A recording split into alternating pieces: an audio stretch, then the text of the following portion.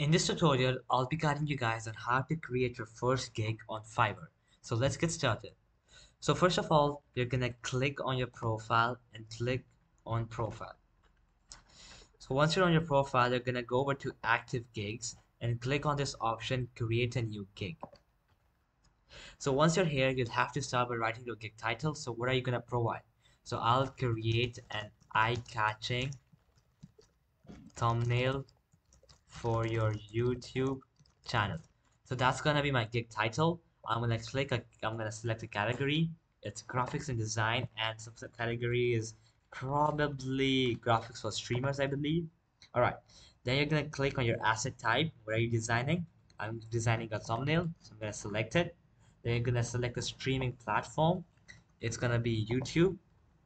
And then I'm gonna scroll down. You can enter some tags so that you can feature your gig so I'm just gonna um, put in some tags let's say Adobe Photoshop um, thumbnails um, YouTube. Alright so I think that's enough. Then you can click on save and continue. Alright so once that is done you're over to the pricing. You're gonna give your pricing. So name of package is the basic package. No I mean um, one thumbnail. Um, I'll provide one thumbnail for your YouTube video.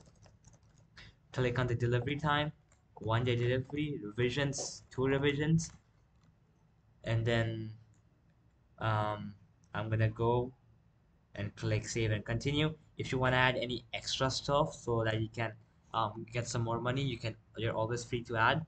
I'm gonna add a price of five dollars and one, one, and one. All right, perfect. I'm gonna click on save and continue.